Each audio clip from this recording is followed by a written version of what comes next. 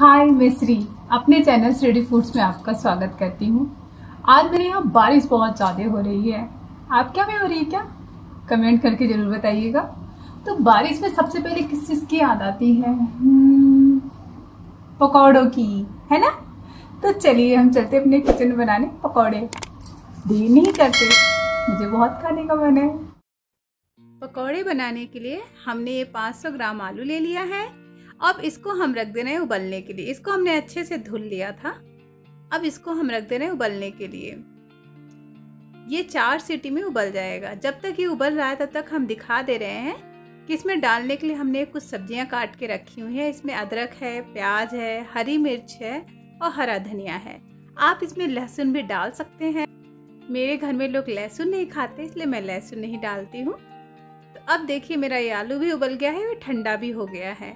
अब मैं इसे देख लेती हूँ कि छिल रहा है कि नहीं। देखूँ क्या? ये देखिए, ये आसानी से इसका छिलका उतर रहा है और ये अच्छे से पक गया है। अब मैं सारे आलूओं को छिल ले रही हूँ और छिल के इसी जो सब्ज़ियाँ हमने काट रखी हैं, उसमें डाल दे रही हूँ इसको। ये देखिए, ये हमने सारे आलू इस तरह से छिल के इसमें डाल दिए। अब हम इसे मैश कर लेंगे अच्छे से। और इसको मैश करने के बाद इसमें हम मसाला डालेंगे। ये देखिए, एक चम्मच हम इसमें डाल रहे हैं मसाला। कोई भी आप मसाला डाल सकते हैं। मैंने गरम मसाला डाला था।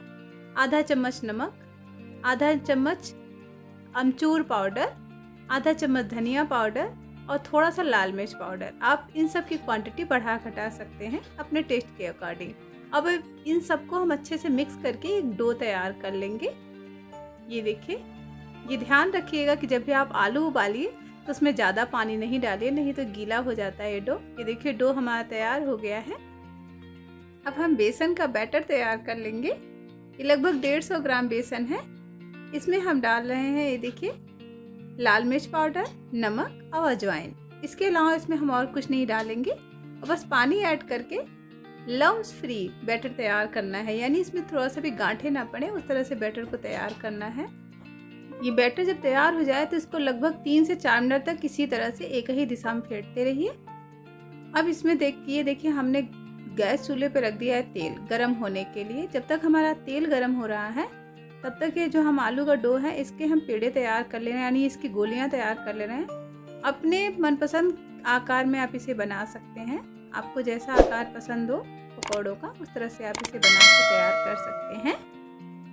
और अक्सर करके बारिश के सीज़न में तो इसका टेस्ट अलग ही आता है, बहुत ज़्यादा अमेजिंग टेस्ट आता है। ये देखिए हमारे सारे पेड़े तैयार हो गए हैं। अब हम एक एक पेड़े को लेंगे और बैटर में डुबोएँगे। तेल भी हमारा अच्छे से गर्म हो गया है। इस तरह से हम बैटर में इसको डुबो देंगे। यानी कि बेसन का जो हमने बैटर तैयार किया था, उसमें हम इसको डुबो देंगे और अब इसे हम डाल देंगे तेल में। इस तरह से।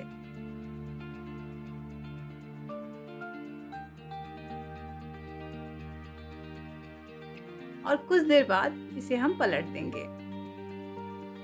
जब हम इसे पलट देंगे, तब आँच हम हल्की कर देंगे। क्योंकि जब पकौड़े तलने का एक ट्रिक होता है, अगर आपको पकौड़े करारे चाहिए तो आपको पलटने के बाद आँच को हल्की कर देनी चाहिए। तब आपके पकौड़े बहुत ही ज़्यादा करारे बनके और क्रिस्पी बनके तैयार होते हैं, बहुत ज़्यादा टेस्टी भी लगते हैं। ये देखिए, हमारे सारे पकौड़े तल गए हैं। अब हम इसे सर्व करेंगे। ये देखिए, आप लोग भी अपने घर पे इसी तरह से पकौड़ों को बनाइए, खाइए और हमारे चैनल को लाइक, सब्सक्राइब और शेयर करना ना भूलें। और कमेंट करके ज़रूर बताइए कि हम, आप लोगों को हमारी बनाई हुई रेसिपीज़ कैसी लगती है।